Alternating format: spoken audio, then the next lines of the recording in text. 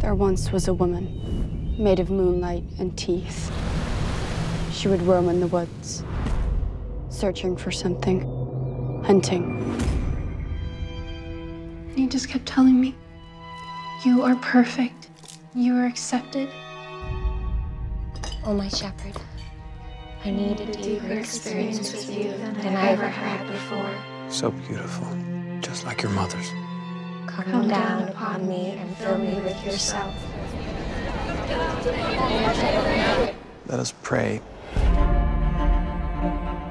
My wives, you all came to me broken by a cruel world. I took every one of you in. I sacrificed my life for you. I gave you daughters and sisterhood and life. Let us reflect on our blessings. Yes, yes my shepherd. You think that because you haven't had your time yet, that makes you special. Prepare yourself, child. Our great shepherd won't be so sweet on you then.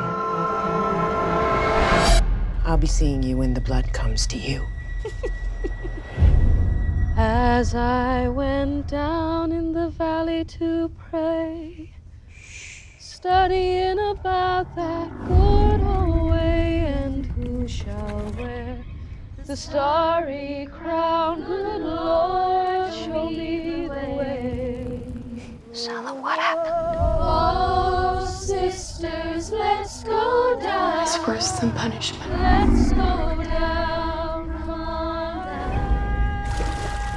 Oh, sisters, let's go down. I am relying on you, Selah.